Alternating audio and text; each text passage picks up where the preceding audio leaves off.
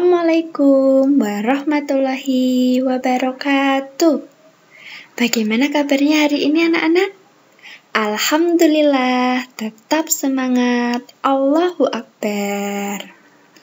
Sebelum memulai pembelajaran hari ini, yuk kita baca basmalah bersama-sama dulu. Sudah siap? Ya. Bismillahirrahmanirrahim. Hari ini kita akan belajar tema 4 hidup bersih dan sehat, subtema 3 hidup bersih dan sehat di tempat bermain, subtema 4 hidup bersih dan sehat di tempat umum. Sekarang disiapkan dulu bu penanya, bu pena 2B. Kalau ada yang belum diambil, sekarang diambil dulu ya. Oke, kita mulai belajar. Ayo belajar tentang bangun ruang menunjukkan rusuk pada bangun ruang. Ada yang tahu rusuk pada bangun ruang itu apa? Rusuk adalah ruas garis pada bangun ruang. Sekarang perhatikan contoh yang Bu Guru tampilkan ya. Di situ ada juga di Bu Pena halaman 138. Ini gambar apa anak-anak? Iya, gambar Rubik. Rubik itu seperti bangun ruang apa? Ya, seperti bangun ruang kubus. Nah, contoh rusuknya itu ini ya. Itu adalah contoh rusuk, yaitu garis ruas A sampai B. Rusuk pada kubus di atas adalah garis ruas dari AB, terus BC, CD, AD, EF, FG, GH, EH, AE, BF, CG, dan DH. Jadi totalnya itu kubus mempunyai 12 rusuk. Sekarang Bu Guru punya satu contoh lagi. Di sini ada gambar coklat. Pasti sudah pernah makan coklat semuanya ya? Iya, tapi ingat, jangan terlalu banyak makan coklat, ya. Anak-anak tahu tidak? Gambar coklat itu mirip dengan bangun ruang. Mirip dengan bangun ruang ini.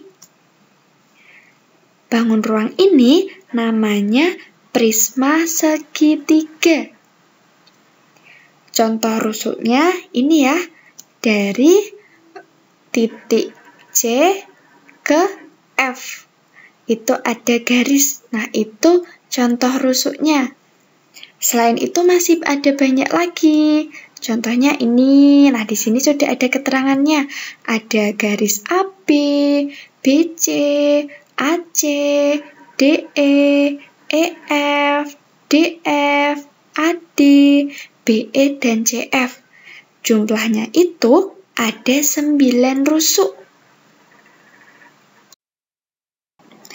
Sekarang kita belajar mengenal rusuk, sisi, dan titik sudut bangun ruang ya.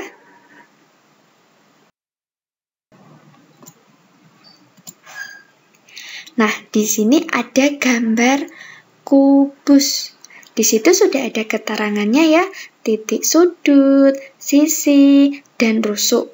Kalau rusuk tadi itu kan ruas garis. Nah, kalau sisi, sisi itu dinding. Dinding e, bangun ruang. Di situ contohnya ada sisi sebelah kanan. Nah, dindingnya itu dari garis DC, CG, GH dan HD itu dinamakan sisi. Sedangkan titik sudut itu sudut-sudut dari bangun ruang atau bahasa lainnya itu pojok ya, pojok dari suatu bangun ruang. Nah, banyak sisinya kubus itu ada enam. Ada sisi alas, sisi atas, sisi depan, sisi belakang, sisi kanan, dan sisi kiri. Jumlah rusuknya itu ada 12 dan banyak sudutnya ada 8. Sudah bisa menentukan ya? Sekarang ada satu contoh lagi. Masih ingat ini namanya bangun ruang apa ya? Ada di pena halaman 158. Iya, ini namanya bangun ruang prisma segitiga. Ini namanya yang ditunjukkan uh, panah itu namanya apa? Iya, sisi atas. Kalau anak panah ini namanya sisi tegak. Kalau ini garis ini sudah tahu kan? Iya, namanya rusuk. Sekarang ini namanya apa anak-anak? Sisi alas. Kalau titik ini namanya Iya, titik sudut. Sudah pintar semua ya? Jadi, nama bangun ruang tadi kan prisma segitiga. Nah, banyak sisinya itu ada lima. Ada sisi alas, sisi atas, dan sisi tegaknya itu ada tiga. Jadi, jumlahnya ada lima. Sedangkan banyak rusuknya itu ada sembilan. Yaitu rusuk AB, BC, AC, DE, EF, DF, AD, BE, dan CF. Banyak titik sudutnya ada 6, yaitu titik A, titik B, titik C, titik D, E, dan F. Sekarang kita belajar unsur-unsur bangun ruang. Nah, ini ada di pena halaman 164. Contoh nomor satu, ini bangun ruang apa? Masih ingat? Iya, namanya bangun ruang kubus. Banyak sisinya ada berapa ya? Ada yang masih ingat? Iya, ada enam.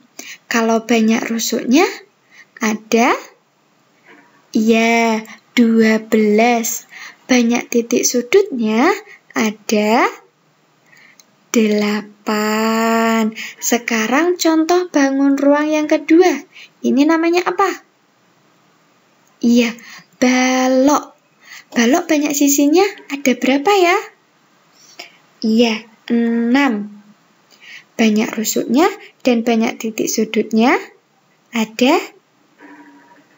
Ya, sama seperti kubus 12 dan 8. Selanjutnya yang nomor 3. Ada yang tahu ini gambar apa? Iya, gambar Prisma segitiga. Banyak sisi prisma segitiga ada berapa ya? Iya, ada lima. Banyak rusuknya? Ada? Sembilan. Kalau banyak titik sudutnya, ada? Oh, enam. Pintar. Sekarang yang nomor empat. Ini ada yang tahu namanya bangun ruang apa? Iya, bangun ruang 5 segi 4. Banyak sisinya ada berapa ya? Ya, ada 5.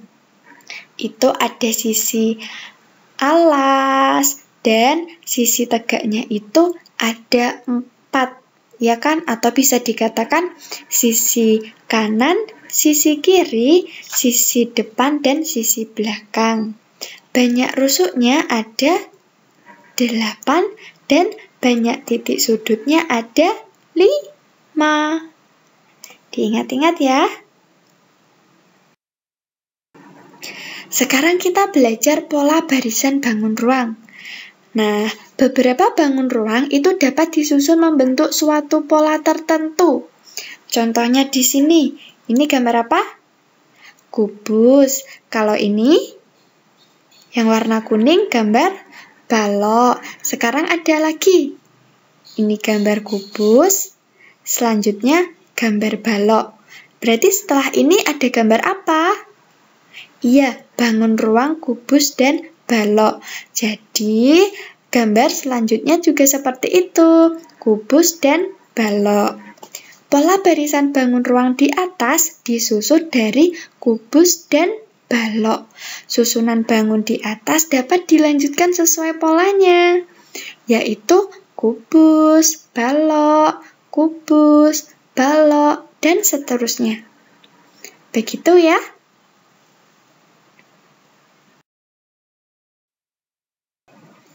Alhamdulillah, sekian dulu ya pembelajaran kita hari ini. Anak-anak di rumah tetap semangat belajar, tetap rajin beribadah, dan jaga selalu ya kesehatannya. Sekarang kita baca hamdalah bersama-sama dulu. Alhamdulillahirabbil alamin. Sampai ketemu di video-video selanjutnya ya. Tetap semangat. Bu Guru pamit dulu. Dadah semuanya. Wassalamualaikum warahmatullahi wabarakatuh.